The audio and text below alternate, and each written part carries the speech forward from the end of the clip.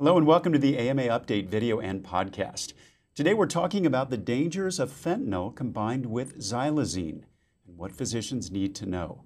Here with me to discuss this today is Dr. Rahul Gupta, Director of the White House Office of National Control, Drug Control Policy in Washington, D.C. I'm Todd Unger, AMA's Chief Experience Officer in Chicago. Dr. Gupta, thanks so much for being here.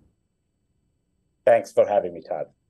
Uh, Dr. Gupta, can we start uh, with a little bit of background on xylazine? Can you tell folks out there just exactly what xylazine is and why people are using it?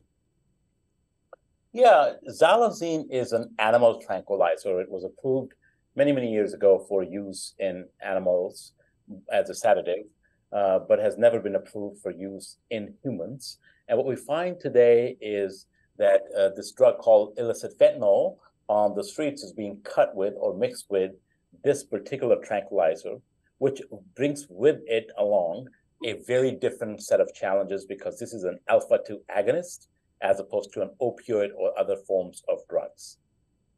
And so it's not something people were necessarily seeking to use on their own, but it's being actually put into the illicit fentanyl, is your point? Yeah, that's exactly right. So the Biden administration has designated uh, the combination of fentanyl and xylazine as an emerging threat to the United States. What prompted, uh, prompted that designation, and what does it mean for the government's efforts to address this threat? Yeah, so earlier this year, I designated, made that designation, and part of the reason is that we have seen a consistent increase in drugs uh, when we check for xylazine being found along with fentanyl. But we've also seen almost 300% increase in deaths associated with this combination of fentanyl and xylazine. It has certainly complicated not only our response efforts, the mixture of fentanyl and xylazine, it's made it more dangerous and lethal, but it's also made it more difficult to treat people who have now addiction potentially from both substances as opposed to just one. So this is one that we've I've seen in my 25 years of practice that we are always um, behind uh, in reacting to substances. Uh, we wanted to make sure in this administration that we were designating as an emerging threat a substance not unlike very much what we do with pandemics and other agents, uh, so that we can get ahead of it and develop those plans uh, so we can save more lives more quickly. Well, let's talk a little bit more about the plan. You announced the designation in April and developed a response plan in July. Did you have particular short term goals in mind? And have there been any notable achievements since April that you can tell us about? Well, certainly. You know, there were some things we found certainly that are different than just fentanyl use. For instance, as I mentioned, the response efforts are complicated because while we should still use naloxone or Narcan, the antidote for opioids to reverse overdoses, people may not respond as quickly. Uh, so it's important for uh, awareness to be there.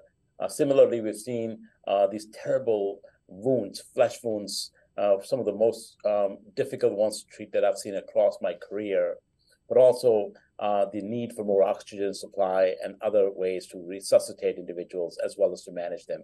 So, having that said, that uh, said, in Todd in June, we've got a framework of response plan, and in September we've got the full response from all of the federal agencies that are going to now work along with state, local, and community partners.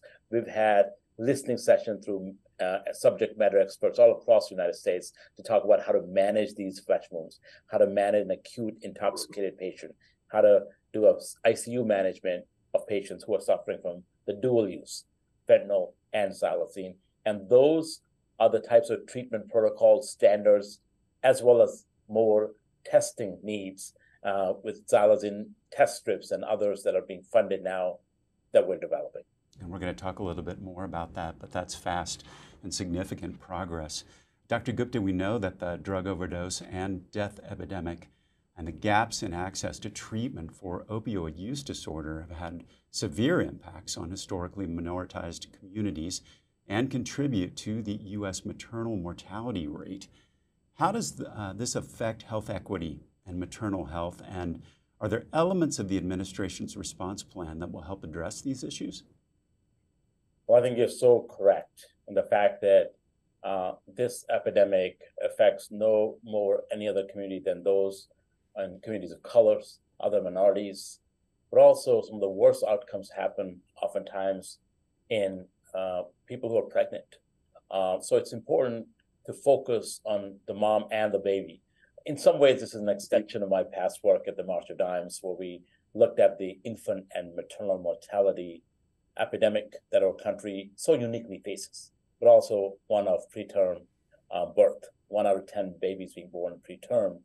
But for women of color, uh, it is three to five times more likely to happen. So with that, we developed with some of the experts across the nation uh, a, a guidance as well as some of the model state laws about how to approach a pregnancy when we're talking about substance use, how to get people into treatment, how to make sure that that mother baby dyad is kept whole uh, throughout uh, post pregnancy times, knowing that in postpartum periods, uh, substance use is one of the rapidly increasing causes of death and contributing to maternal mortality as well as um, infant uh, complications.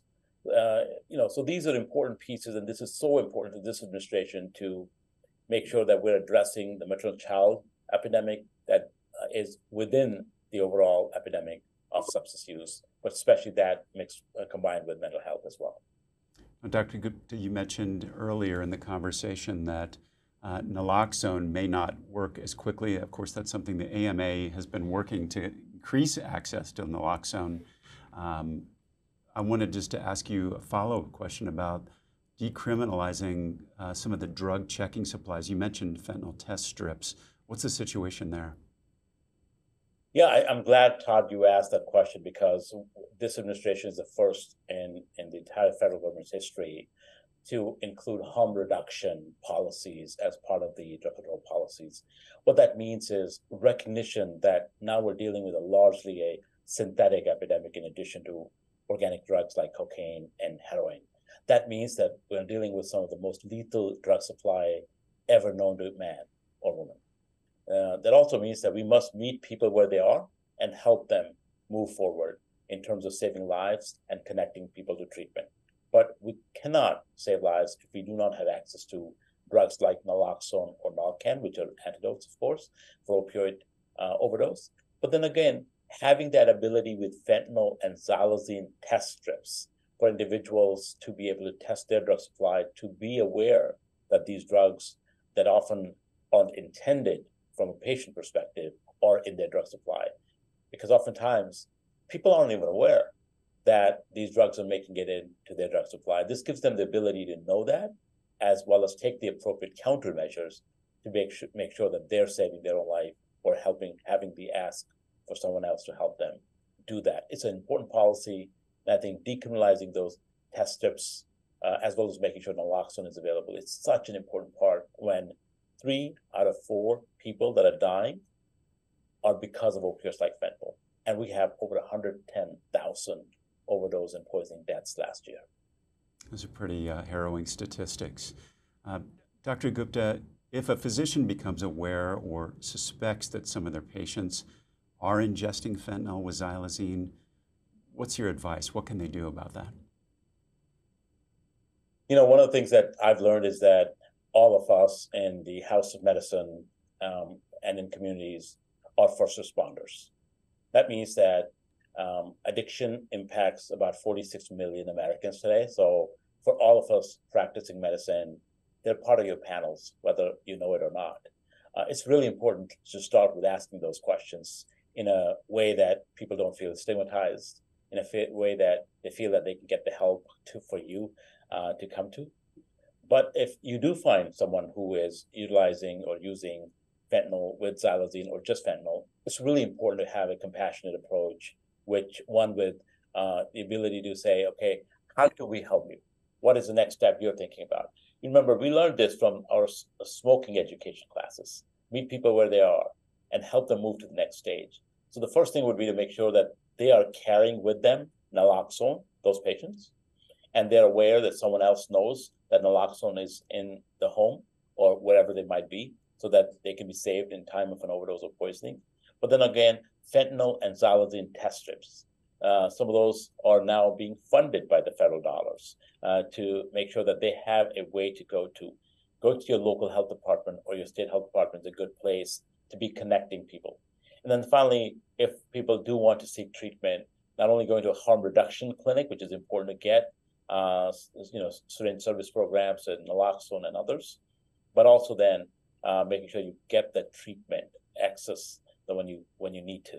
We want to make sure that we've worked hard to remove these unprecedented barriers to things like the X waiver. You know, myself being an X waiver physician, was so happy that we were able to, um, you know, remove that. So now, about two million providers across this country who have a DEA license can also prescribe people treatment with Suboxone or buprenorphine. We want to make sure that uh, physicians are aware of that. They're able to help and contribute to saving lives like they do for so many other diseases they should do the same for addiction. Dr. Gupta, it's an honor to have you here, and thank you so much for all the work that you're doing to address this epidemic. Uh, that's it for today's segment. We'll be back soon with another AMA update. In the meantime, you can find all our videos and podcasts at ama-assn.org slash podcasts. Thanks for joining us today, and please take care.